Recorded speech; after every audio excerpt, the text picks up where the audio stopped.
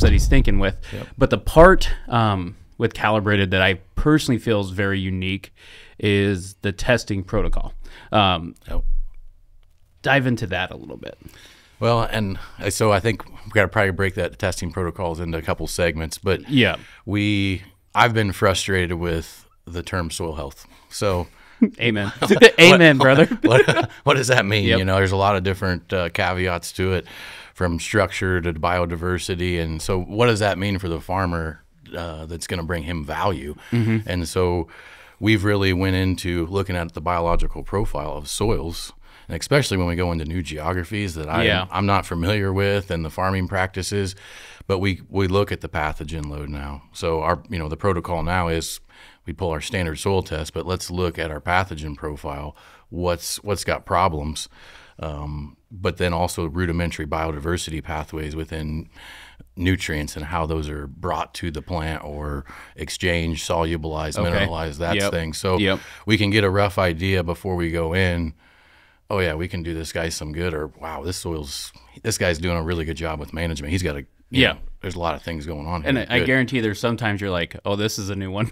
there, there is, there is, and so then on the backside of that, we'll implement our BioAg E product or try to find even foundational problems that are wrong, whether that's compaction or Yeah. surface drainage.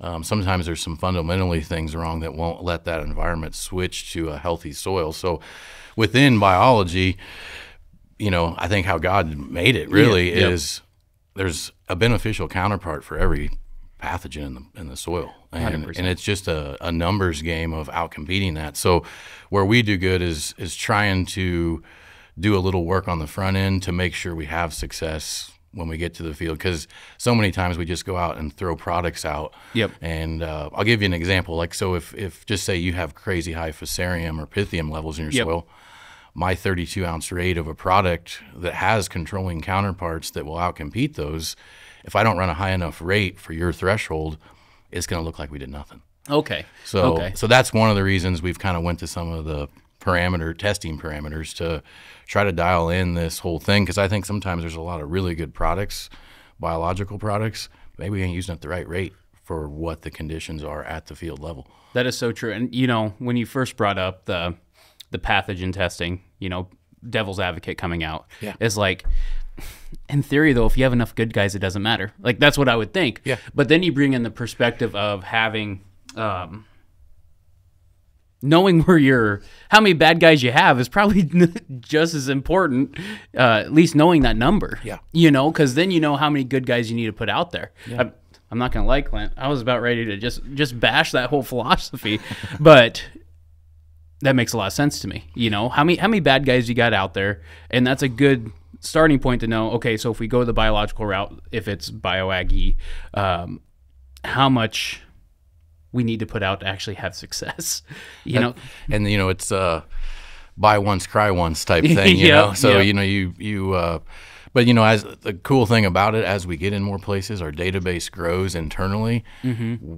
now it's getting easier of saying ooh you know goes back to common sense type things you you know if you're in a really flat piece is your is it tiled do you got tile in it yeah what can you can you dig a hole with a shovel easily? You know, do you Yep, got compaction yep. issues. If we can identify some of those, those environments are easier to change than an environment that has fundamental issues that that uh, aren't corrected yet. so with that maybe we should transition you know into the part of we wanted to cover you know what are those fa- foundational things i know you mentioned compaction here but what are what are other things you're seeing um because i feel like in the marketplace people are looking for answers um but i think half the knowledge is knowing when we got to fix abc before even worrying about biologicals and or do this so your biological works better. So foundationally, what would that look like?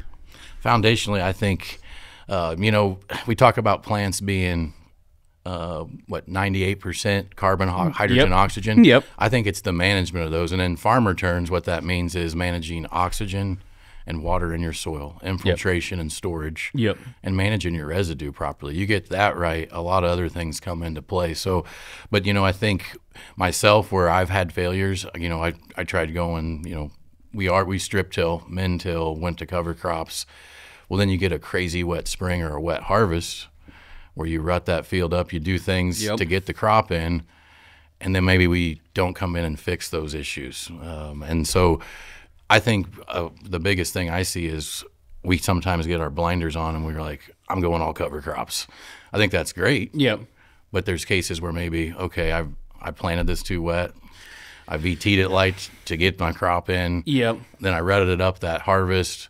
Well, maybe we need to come in and reset, fix that issue, then go back to doing what we did. And th- and once I started adopting that with farmers I'm working with and on my own farm, yields came up of, of just being more in tune with the problems, the the, the little little tweaks. So let's just say, um, just to help clue in the listeners even more.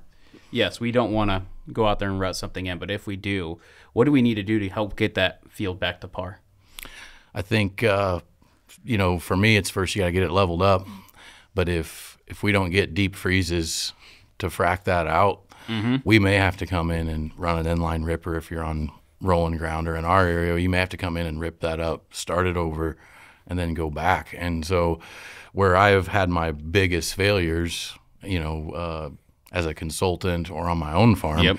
it's been in situations where I just am pushing forward with this ideology and that's all I'm going to do. And so for, for me, it's just little things like that. Yep. And, and you can go right back to it. Once you get that oxygen back in the soil, you get that, that alleviated. Yep. Poof. Now we can go back and, and get yield back again. Well, it's even crazy. Uh, one field um, that I scouted, uh, it was a little wet when the sprayer went through, Yeah. and you know by the time it hit tassel, I couldn't tell. Here at harvest time, I can tell exactly where that sprayer went. Yeah. Yeah. So it, it just goes back to the point of yes, 98% of that plant carbon, hydrogen, oxygen. Um, and like you said, how do we really? I, I think the one that we for I, I don't even want to say forget about, but we may overlook is the oxygen piece. Oof, it's critical. It's a living plant. Yeah. You know. Um, so how do we make sure that that oxygen is there? So any more fundamentals? I, I think that's it. pH is a big one for me to get Okay. it close. Okay. But but other than that, I think it's the management of oxygen and water in your soil and whatever it takes to get there. And then, of course, there is principles we're learning uh, within cover crop reduced tillage that will help build that aggregate structure to you know keep that going long term. But I think when we get that crazy environmental shift, hey, let's let's make sure we address it um, and fix what we maybe a problem we created ourselves because of, the, uh, of a wet environment. Guys, if you've liked the information that you've seen so far, go ahead and check out the full length podcast on our YouTube channel. Be sure to subscribe there. It's also on all the major pla- podcast platforms. Um, we're constantly dropping info and more content on all the social media platforms TikTok, Instagram, Facebook, etc. Check it out for a lot more content